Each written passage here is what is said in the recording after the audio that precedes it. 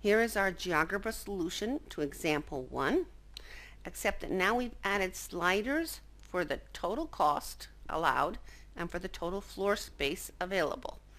And what we're going to do is move these sliders to make a new but similar problem for our students to practice on or for an exam question. In the second MathCast on this page, we will explain how to make these sliders. But right now we're just going to explore with these sliders. The sliders have two good points. One, you can see whether the problem is valid at all. And number two, if you're working with something like, in this problem, it needed the number of filing cabinets, you have to make sure that at minimum, the answer is on a grid point. So here the answer was 8, 3. So we have eight filing cabinets of type A and three filing cabinets of type B. It's also good if the other intersection points are grid points. Okay, so let's move our slider sliders here. And let's see what happens. If we move it down to 100, 120, we're losing our problem here. We don't even have a good region.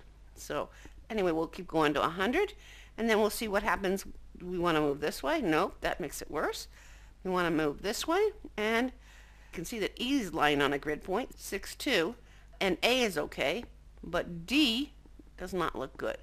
This is a reasonable problem, but not a good problem. So let's move FP again. We can move up to that grid point there.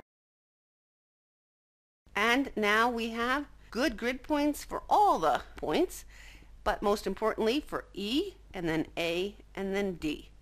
Okay, here we had just changed the totals. What would happen if we changed all the parameters in the problem? There's six parameters. Okay, here we've put in all six parameters as sliders. Again, we will show how to do this in the second MathCast. But six parameters is a lot of parameters to be moving around.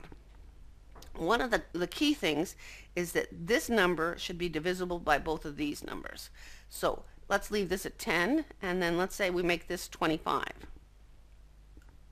Well, 140 is not divisible by 25, so well, let's say we make this 150. And now we see that A and B are at least lying on grid points. See a grid point here, a grid point here. So we'll start to move these around. Let's make this one say 1. Of course, I, I do know a good answer before I started this math cast. And now, let's move this to a whole number. 7, let's say. Then this cannot be an 8 for sure. It might be able to be a 7, 0.7 and we see we're not getting a good point for E. So let's move it to 0.6 is not divisible. How about 0.5? 0.5 gives me all grid points. Like I said, I knew this answer ahead of time. You have to try moving them around and see what you get. This is a, again, this is a good problem for students to try. They get to find grid points for A, E, and D and see how difficult it is to actually make up a good problem and what a good problem looks like.